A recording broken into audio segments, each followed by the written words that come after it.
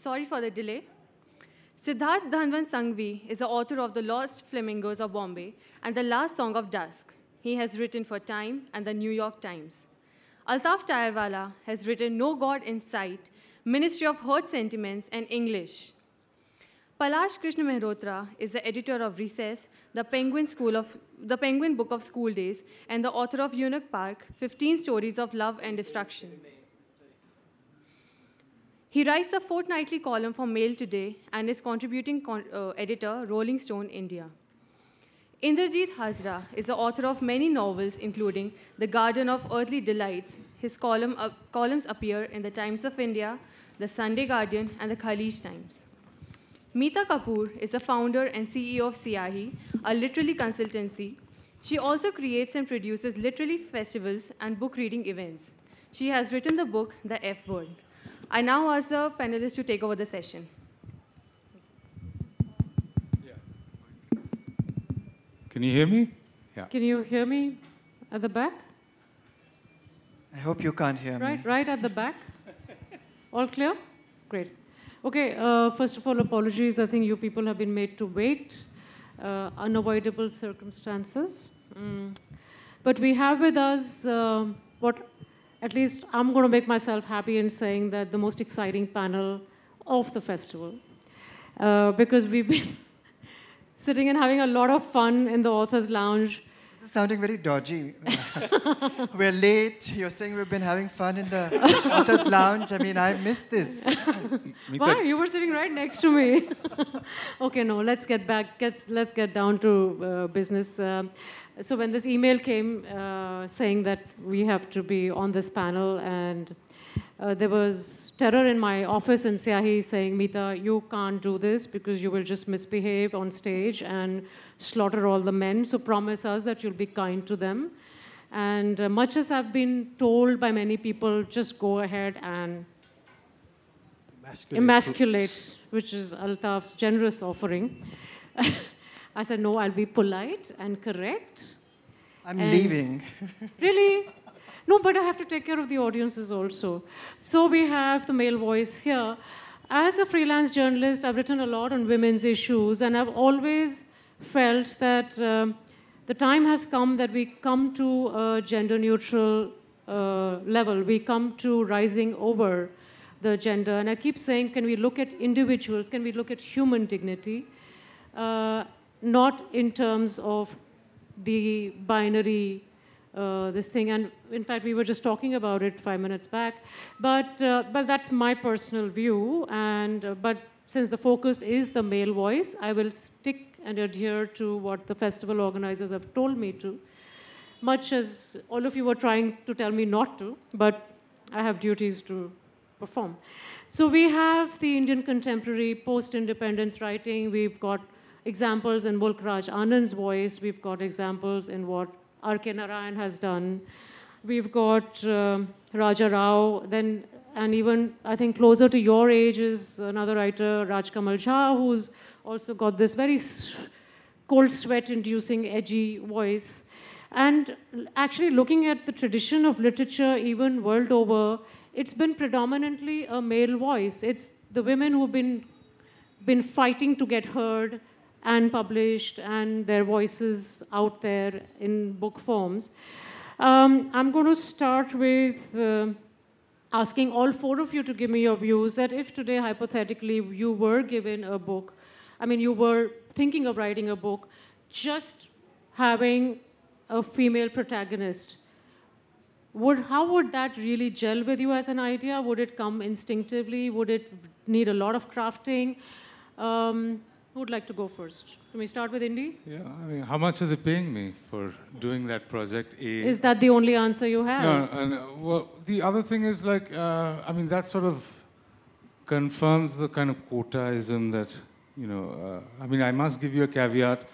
I've been told that as a writer, I'm a kind of a misogynist because there's, in my novels, I, I sort of kill all the women, and in one, I I think she turns out to be a killer, etc., etc. But I think, I mean, it's not about, it's like asking, I mean, if you want somebody to write something with a central female character as a project, that's like asking me to write about, you know, a book on ballet, which I know crap all about. Or, uh, I, I, mean, I will do my research again if the money's right. But, um, but jokes apart, I mean, I, I, I would find it difficult but interesting, and that's not necessarily a no. That's not necessarily a no, but that's nice to know. What about you, Siddharth? Uh, thanks for that question. I'll get to it in a second. What I want to do was a spot of course correction that because we're on a panel of four male writers, there was a much senior male writer uh, who two years ago talked about the fact that, and I'll not name him because I don't want to run into a spat, but this very senior, uh, slightly misogynist male writer talked about how he doesn't read any female writers, that they don't add up.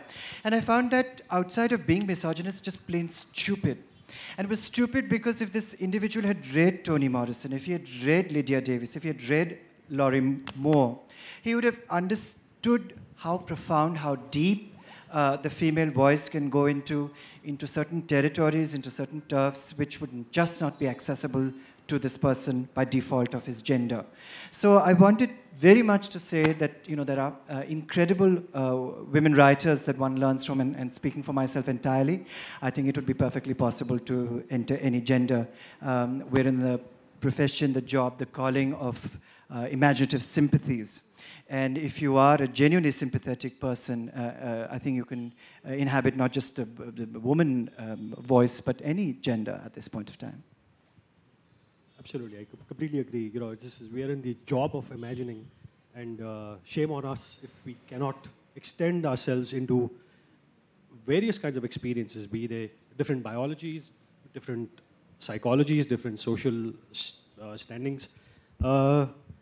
To answer your question, I think uh, I've been there and done that. My first novel yes, was a series of monologues which varied, you know, there was an equal number of male and female first-person yeah. narratives.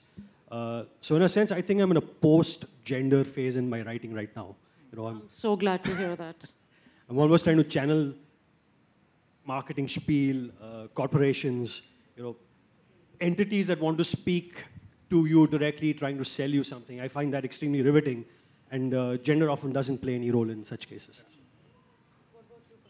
Um, you know, I uh, when you st start writing something, it's not really uh, you know. When I wrote Eunuch Park, uh, I was just I wrote one story, I wrote another story, I wrote a third story. Um, you know, at some point, the theme began to emerge. It, you know, I, I, I felt that I, I, wanted to write about men, uh, certain spaces uh, which hadn't been written about, and so it happened very naturally. But I didn't set out with an agenda. Um, uh, but you know, I'm not.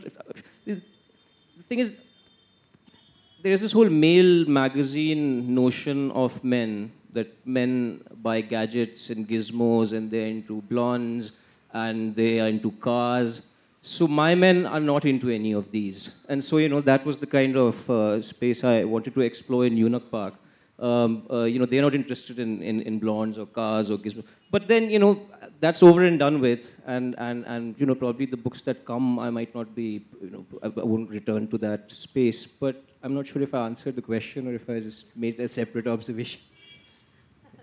okay, no, but we'll we'll come back to your uh, so-called later on female protagonist. India, I wanted to ask you. Um, um, existentialism as Tuffy. Huh. Not really. I'm just using big words yeah, to sound no, no. very important. No, no, but fine. I'm going back to Bioscope Man. Okay. I'm going back to Abani's character. Sure. And uh, there, there, there is that entire point where he is losing everything.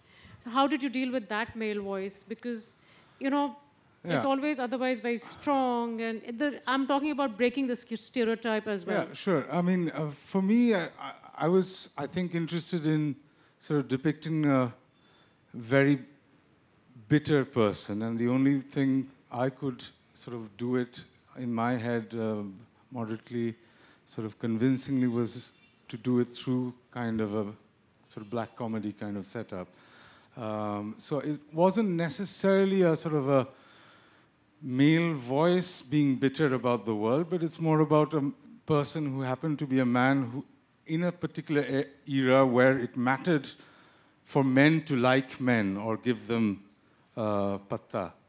Uh, but there's also the Oboni, the character. Oboni is um, a central character in my novel, and he's basically an actor who made it big and then sort of, sort of didn't make it big. It's that old trope about a sort of failed star kind of thing. So I, I think um, one of the things I, I just wanted to make the point when you sort of mentioned that big word, which if I say I will have to kill myself, but is that um, I, I, there's this sort of cliche or notion about sort of um, I think every man should actually try to write like a woman thinks, in the sense uh, uh, uh, they're more observant, and that's I'm, I'm being a sort of a counter cliche here, but uh, in the sense, I, I, think there's a lot of internal thoughts which happen in most male writing, uh, which sort of doesn't sort of take a look at things. Um, uh, Jhumpa comes to mind when she does this sort of pointillistic detail, and it's not as if it's a woman thing. It just happens that um, it's been sort of put in the box of you know, this is what women do, women writers do, which is actually not correct. Um, but I, for me, I just thought that the character of, of Oboni gave me a sort of a platform in which I wanted this bitter man to look at the world looking at him. Now, if that's called existentialism, obviously it exists, therefore it must. But um, so that was my take on it. There was no sort of male voice happening. It's just about a cranky old man saying, the world is shit because they didn't recognize me as a genius. Yeah, so it might as well be a woman also doing it, you know. Yeah, yeah, yeah. except I didn't do the research about women yet. I uh, know very few women well. Right. Do, do, you, do you want to read a piece out or uh, maybe uh, later? After, yeah, All I'll right. just sort okay. of find it in the meantime. Um, Siddharth, I want to come to you because uh, in the last Song of Dusk, and in a lot of your interviews at that point in time, you said that you wanted to uh, explore the sensual in, very, in a very hopelessly personal manner uh, through your writing. And I want to come to your photography later. So, how is it that you did that in the last Song of Dusk? I mean, most of us would have read the book. And incidentally, this is the 10th year of the book being published, and they've come out with a special edition, so it's, it's a moment of celebration as well. Um, but over to you, Siddharth. Uh, I'm very grateful to this book for being my passport into a world I would otherwise not have had access to. Um, it also allowed me to access worlds which I had lived with subliminally, the sensual worlds. Um, I don't know whether I can again answer that question from a male perspective. I think that a lot of people write uh, what they know. I wanted to write what I didn't know in order to know it. Um, and that's why I started with two very central female characters and came to a point where Nandini, in the last song of Dusk, was um, genderless. I mean, she had affairs with men, women, animals. And I think that's the space that I find most interesting people who've been able to transcend that um, and live with the full force of their sexual energy as a kind of culture, as a civilizing force, as a way to inhabit their world and to make conversation. Right. And now that you're uh, actively more engaged, engaging your creativity in the field of photography, so is there a narrative there where you're also then composing each frame of yours with a particular point of view or are you telling a story there? Are you also then looking at it differently? Or is it just, again, something that you explored in your writing? You know, I did a, uh, series of photographs called The House Next Door, which traced my father's life after he had had brain cancer. Um, and as any of the boys here on this panel, the men here on this panel will tell you, it's sometimes quite difficult for men to spend time with each other in times of crises. And the camera became this extraordinary um, filter for me to be with my dad, um, but to be with him without conversation. And it also allowed me to record that aspect of his life, which I don't believe I would have been able to serve with language. So I think essentially one looks for meaning, for stories, for narrative, and then tries to find the best instrument to tell them. I think that's where your mind has to be promiscuous enough to turn around and say, I'm going to tell this story with photographs and this with furniture and this with writing and that with architecture or design. So that's a space where I have always, you know, said I don't identify as a writer or a novelist, but as a storyteller. Right. I think that's that's a good space to be in. Um, I'll turn to Altaf now.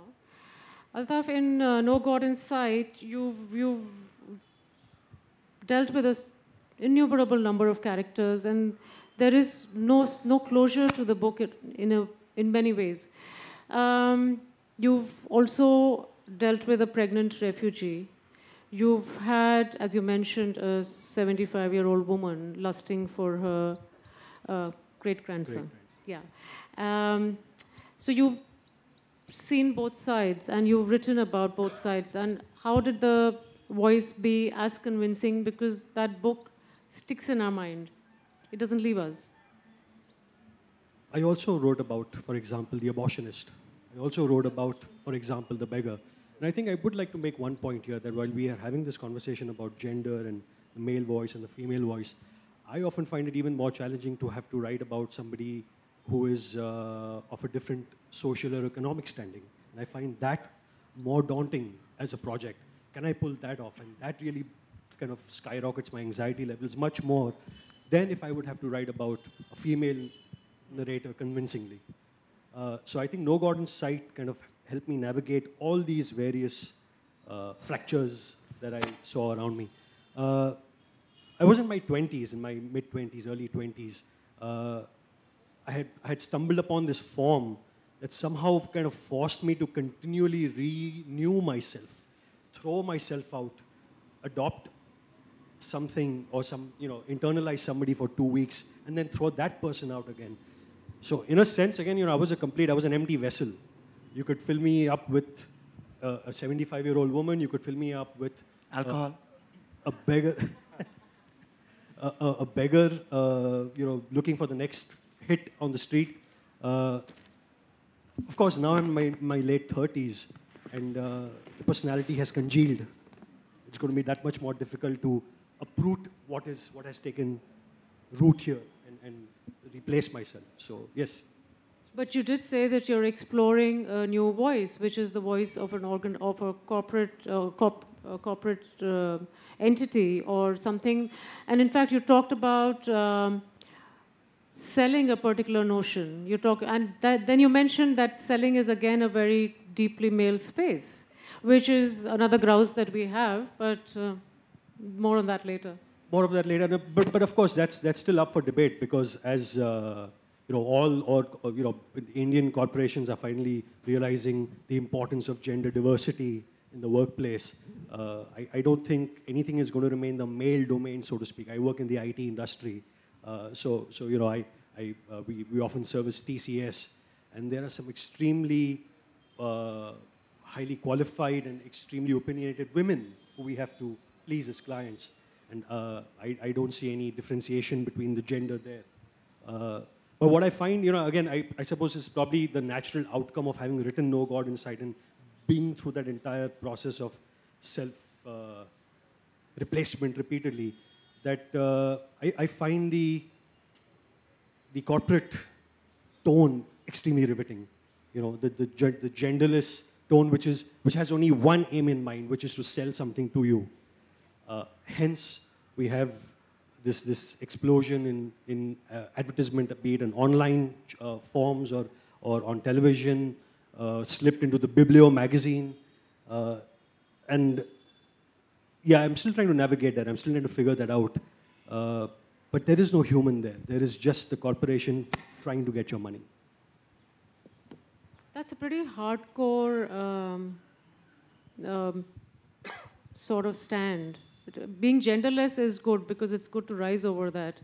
But um, don't you think that's going to be a very difficult space to find a very strong voice in? it's a dehumanized space, and I think that's also an extremely interesting space to have to occupy. Yeah. When the human ceases to exist, it is only the market and the market dynamics that matter at the end of the day. But we'll all wait for that to happen.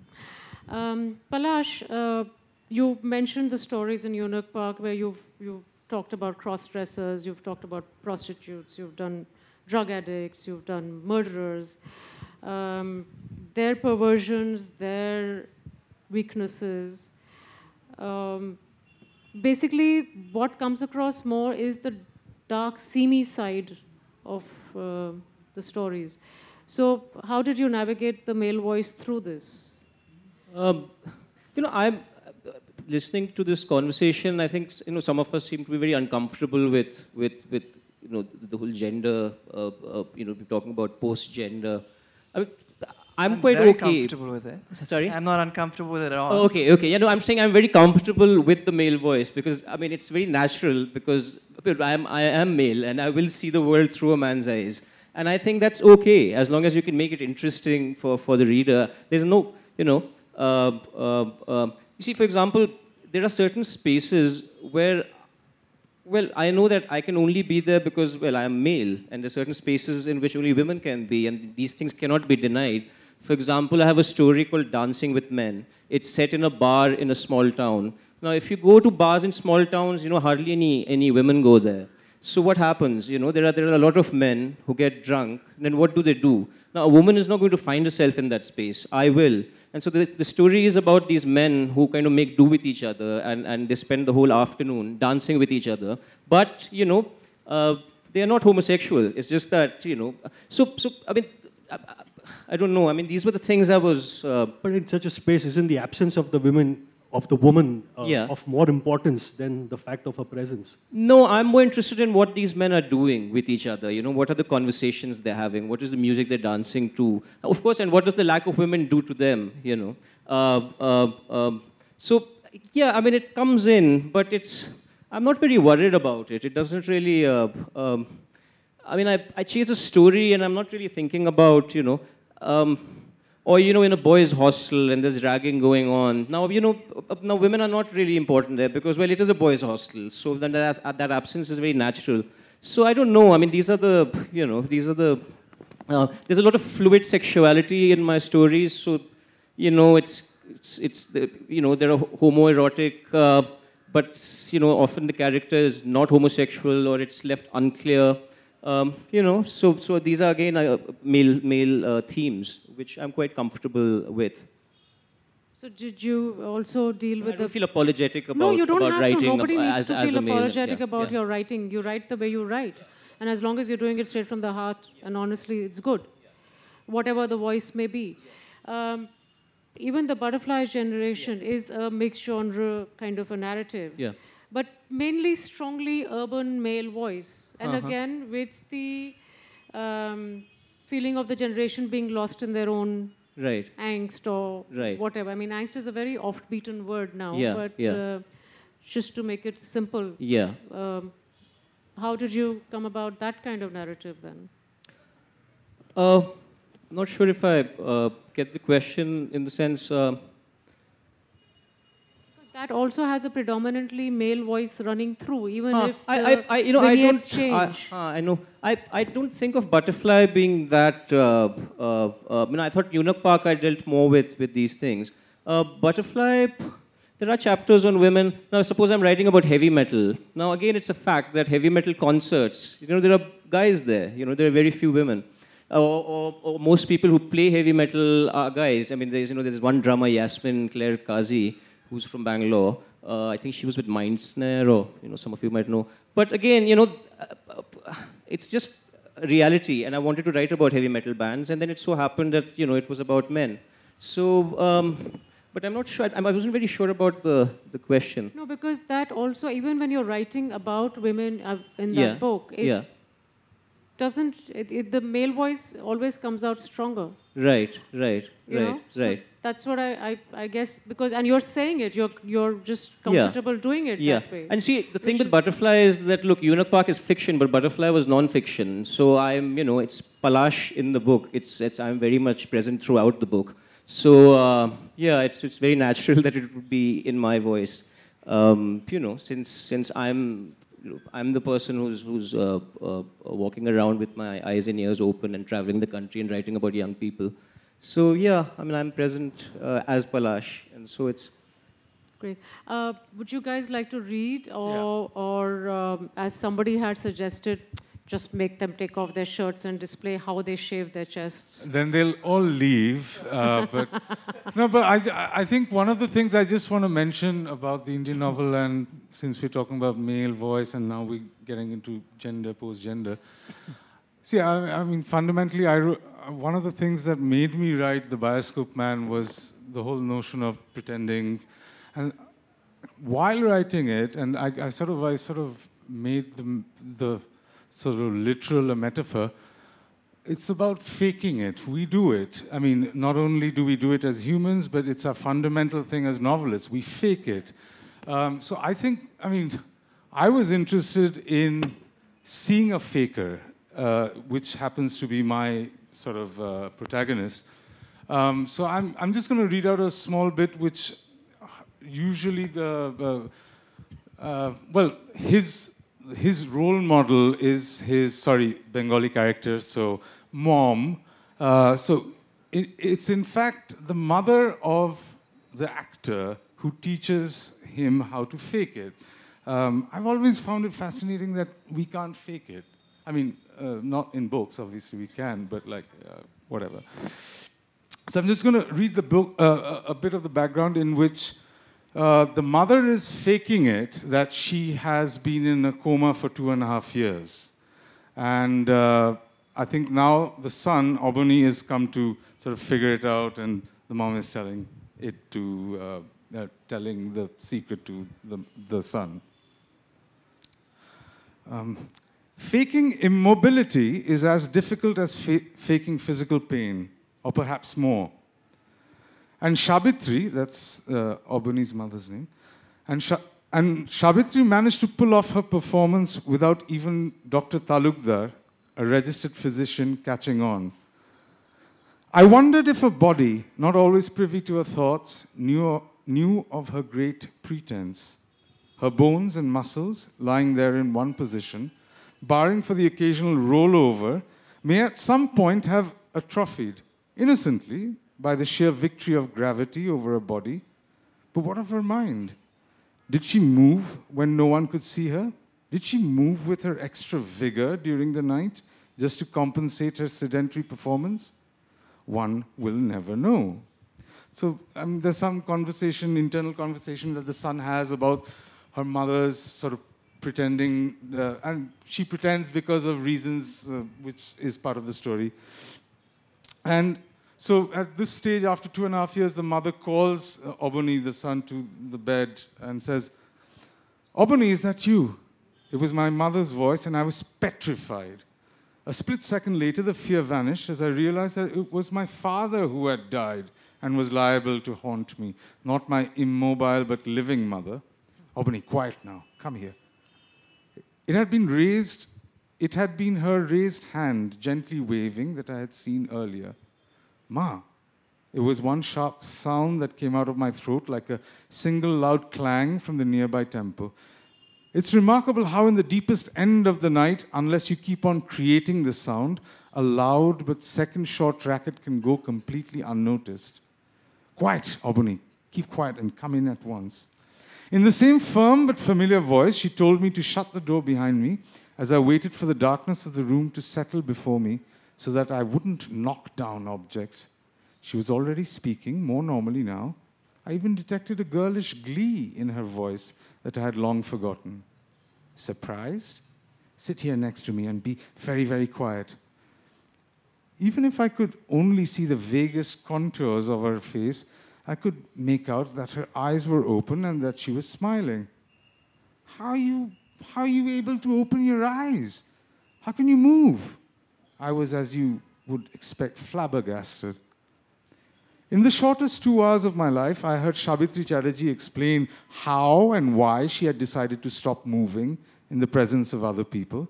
And to make it absolutely credible, she had stopped moving even when she was alone. It wasn't only my father's downward spiral and the accompanying grief that had made Shabitri pretend to be immobile to perfection. There were many other reasons which he told me you're too young to know about now, Oboni. It was only in these last five year, days, after news of Tarini's death had trickled up from his room to hers, that she had started to feel restless. She still didn't want to give up what she called the luxury of just existing and doing nothing.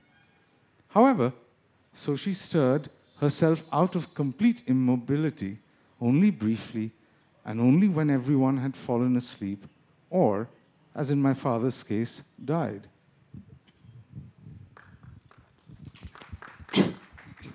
We, Siddharth, you don't have your book here, but. Uh, But I have a story. Yeah, And my story is that, um, Shobha, pay attention. Uh, my story is about Shobha. Because in a panel of male writers, what I want to say is that there was a woman who, in some senses, started me off. I was 20 and had gone to meet Shobha as a student from London. And she was the one who gave me permission uh, subliminally, not consciously, to write and to take ownership of that writing. And uh, what, 15 years later, there uh, is the, is the, the woman who uh, gave me permission to write, uh, encouraged me all throughout, sent and wrote letters to me when I was a student in, uh, at university in London. So I'm so delighted, Shobha, that you're there. Thank you so much.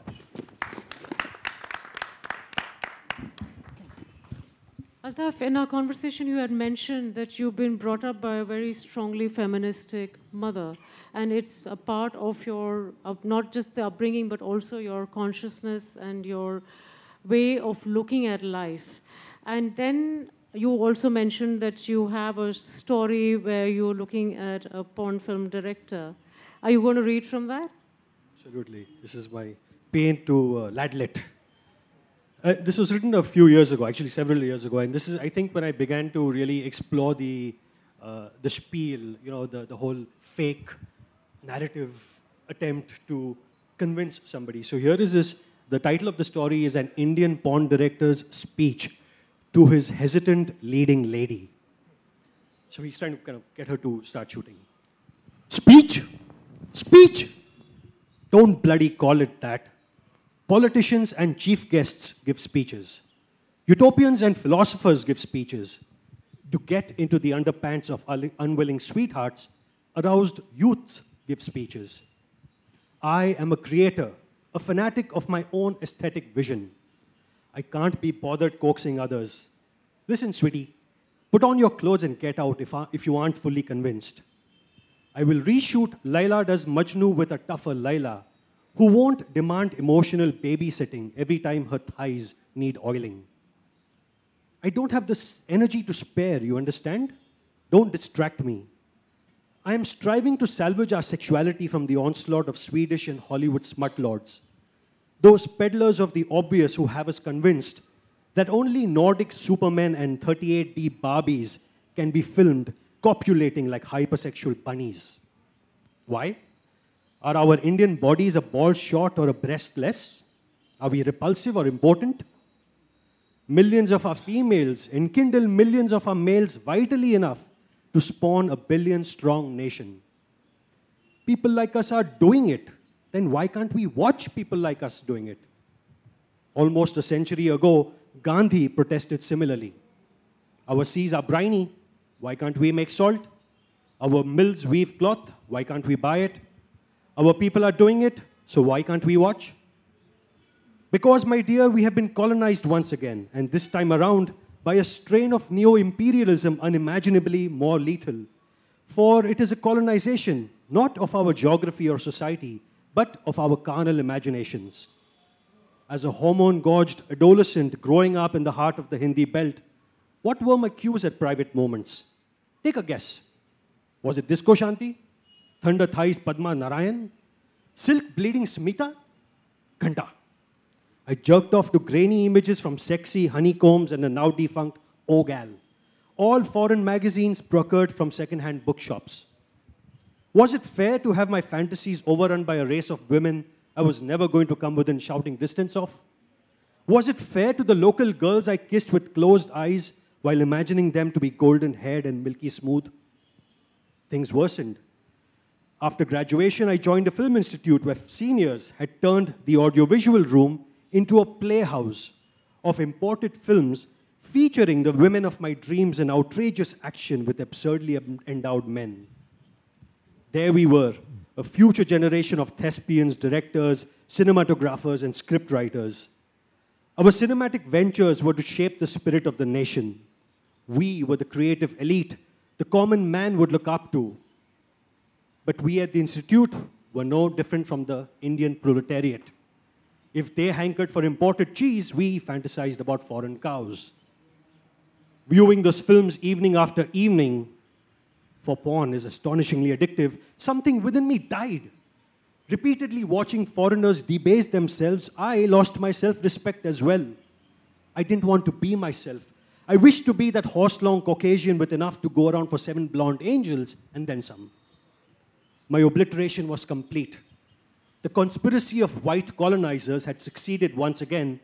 Like crores of subjugated men before me, I too wished to become white, or at least white enough to seduce a white. What Swaraj to demand and what quit India to declare when one's libido is under siege. Men turn to art when the political is impossible. And so, Laila does Majnu.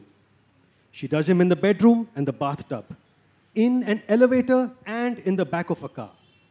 Laila does Majnu at a deserted rail track in a park and inside the restroom of a restaurant. She does him and does him and does him, even as end titles roll and thunderstruck audiences file out of theaters. Intricate nuances will swoop my film from the bottom rung slush of sleaze to the roaring heights of allegory. For when Laila does Majnu in the bedroom, they soil, look under you, hot buns, a bedspread printed with the stars and stripes. They moisten the backseat of a Mercedes. They violate the lawns of Victoria Garden and then proceed to disgrace the tiles of a McDonald's toilet. And in the climax, the last of several climaxes, Laila will do Majnu upright against a portrait of Her Highness, the Queen. There will be no dialogues. Cinemas will only reverberate with the procreative grunts of two brown skinned specimens fornicating their way to finally, finally, oh, finally, a truly sovereign India. For God's sake, can we shoot now?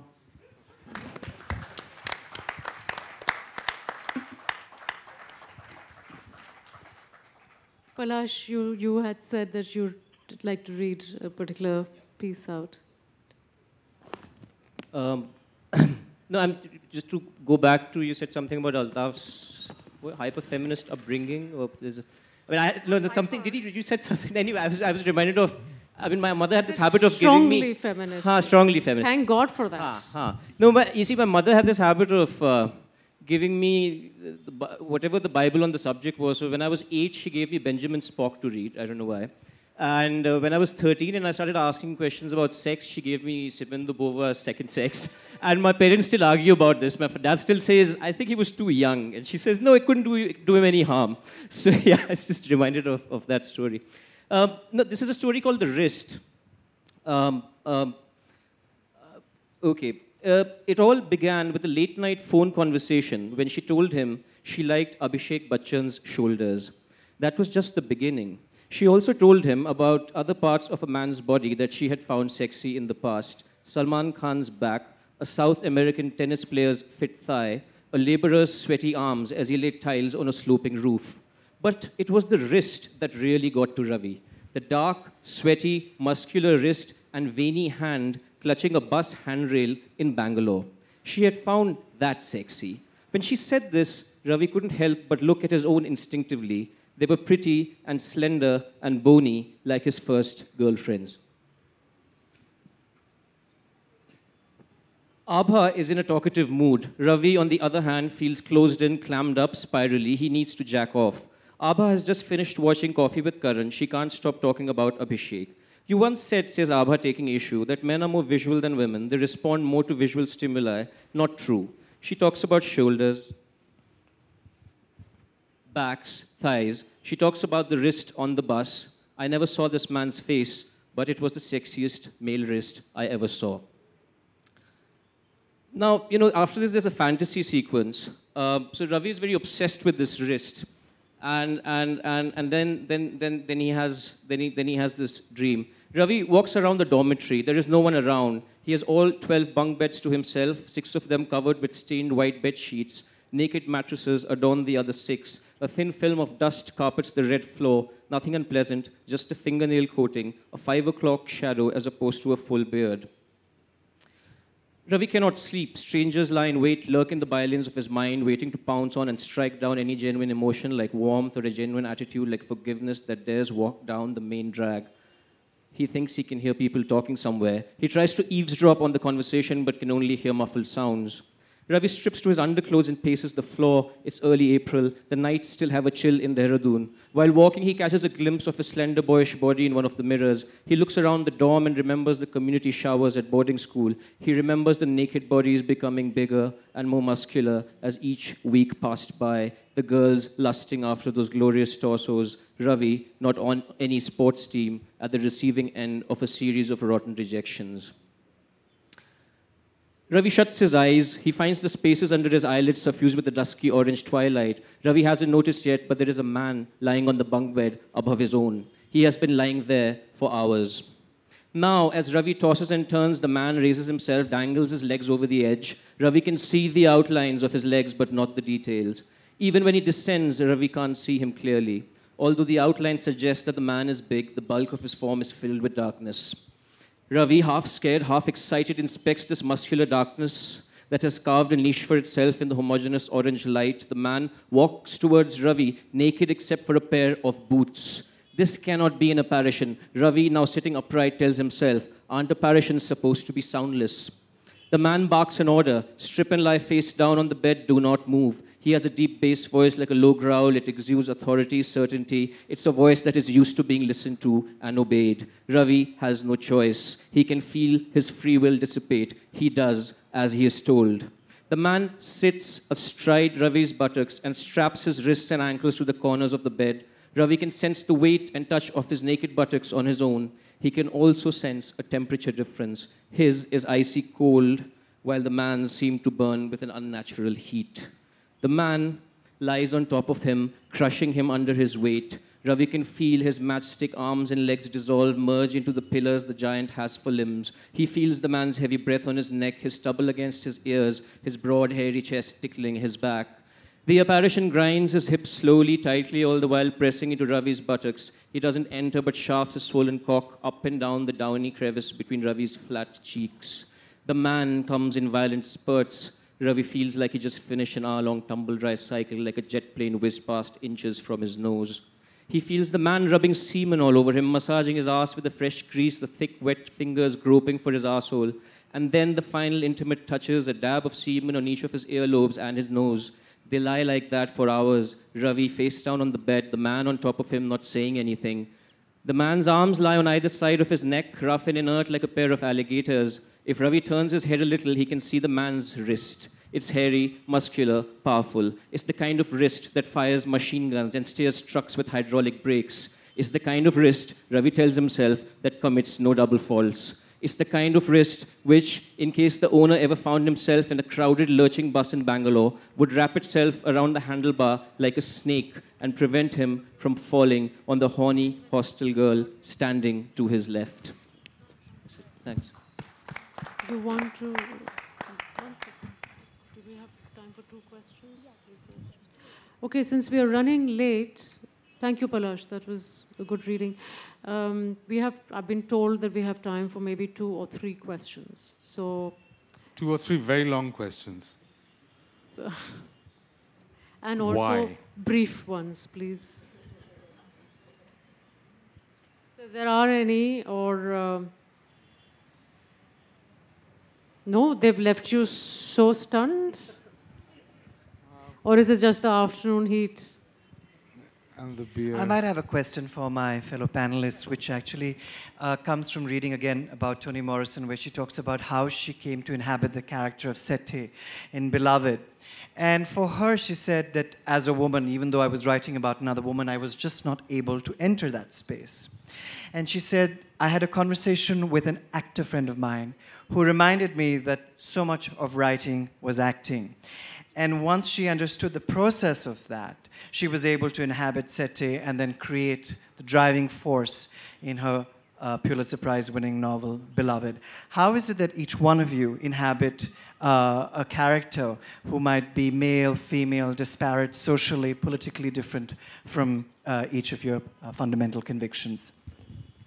Um, well, I think part of the fun and part of the whether it works or not is how much we can pretend or how much we can act in terms of words. So I think, as Altaf mentioned, it doesn't always have to be gender specific. It could be about me being, uh, I don't know, um, uh, me trying to be an arsonist, for instance. Now, I'm not an arsonist, and this is that old classic thing about don't mix up the narrator or the author with the character, etc., etc.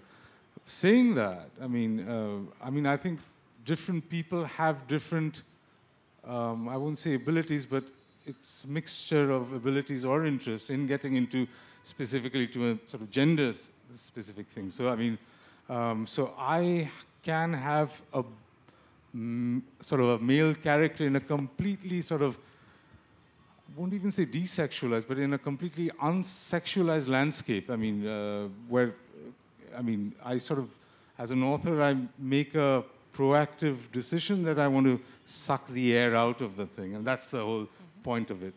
Um, so whenever I do have women, and this applies to men also, I'm speaking for myself here, um, I, I usually work in a kind of a two-dimensional, and that's my weakness and strength for whatever it's worth, um, where I have a sort of central character who sort of is the main sort of pinball in the pinball mm-hmm. game.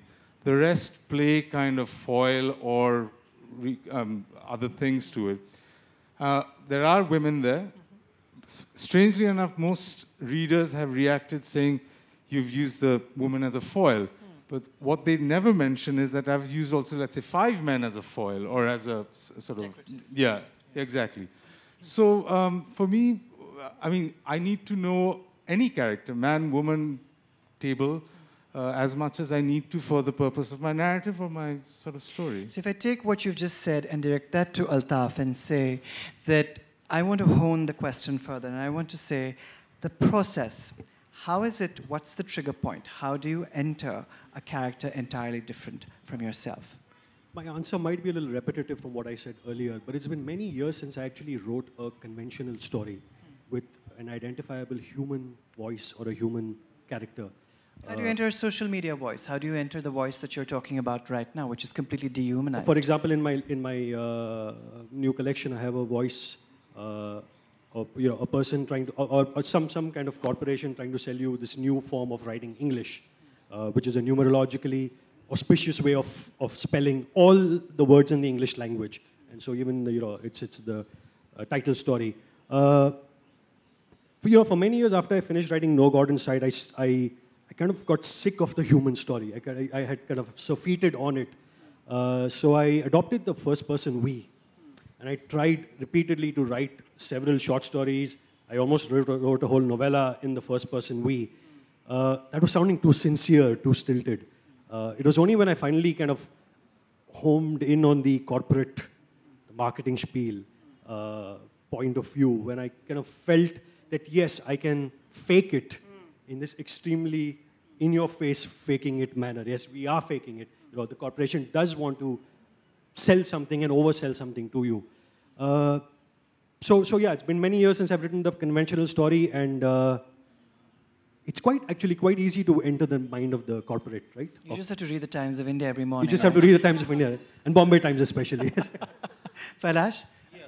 Uh, I don't know if um, huh, I, I you know, I have a, I have a, uh, uh, I don't know, it's a gonzo or a participant observer approach, or a, I can do, sort of method writing. I do, I do end up writing about things that I've experienced, and I think that's what makes it very real. For example, this dancing with men story, I had had a fight with my then girlfriend and, and you know, stormed out of the house and gone to this bar which was full of men. Now, what it did with that material was, was fiction, but I was there, you know. Or if I am writing about uh, homosexual experiences, well, I have, I've had those experiences, and that's what I mind to, to you know, get, get it, make it that real. So I'm, I'm quite, you know, when, it's a very standard question that's asked how much of this is real and how much of this is. Uh, well, so it's all real and it's also not all real. But yeah, it's, at some level, it's all true. It's all happened. So. Do you want to? I think we'll have to uh, close here because we are. Is there a question? Somebody has a question. There's one human. Okay, so that that will be the last question then. Uh, there's one question. Yeah. Should I? Yeah, please. Not so sure how to put this put this across, but then uh, do you think there's a difference between genderless and genderful? Who is the question addressed to? Uh, everyone up on the panel. Would you like to take this? Um, I think that I may reflect the views of the panelists saying that writing essentially is an act of transcending yourself. So whether you're writing from the male perspective, there's a part of you that is transcending that. Whether you're writing from the lives of women, you're transcending that. So genderful, genderless, on some levels, um, again becomes the limitations and the demarcations of language. And you're always trying, um, because I think we work with a lesser skilled uh, medium, which is words. And if the same question could be answered through music, for instance, would have a much deeper resonance. And perhaps a question which is so uh, cleanly defined would not have emerged from you if you were speaking to musicians. I think also, uh, if I may, uh, I think also, um, I think most writers sort of write without, I mean, it's not, we don't do the footnotes first and then the text. Uh, it's the other way around. So, I mean, we're also right now doing the footnotey bits, unfortunately, or fortunately. I, I mean it in a nice footnotey way. But um, it's like fashion. Like, you know, I might not be trying to be fashionable, but it is, it, it, it's there, whether you're wearing, you know, boxes or whatever. So similarly, uh, even if the book that I have intended to write or have written um, it's for the reader to sort of inject genderful and genderless and half gender, half empty, whatever. Uh, and that's what makes it happy for me. I mean, I, I get more kicks of uh, people telling me what my characters are than what I tell them about it being. Thank you.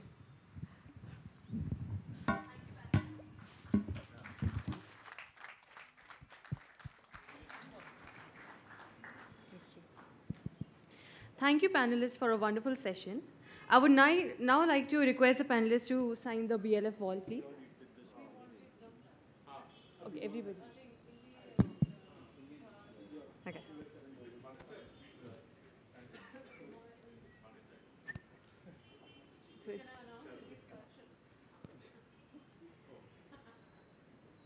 This year, the BLF is not simply about the written word. We have at the festival a wonderful showcase of contemporary art and sculpture. Bangalore Literature Festival, in association with our venue and hospitality partner, Crowne Plaza Bengaluru, Electronic City, proudly present Forms, Faces, Forces, an exhibition celebrating motives and emotions that books bring alive. Curated and conceptualized by Gallery G, the exhibition is on at the Crowne Plaza Hotel lobby, as well as in the festival area. Thank you, and please be seated for the next session. Thank you.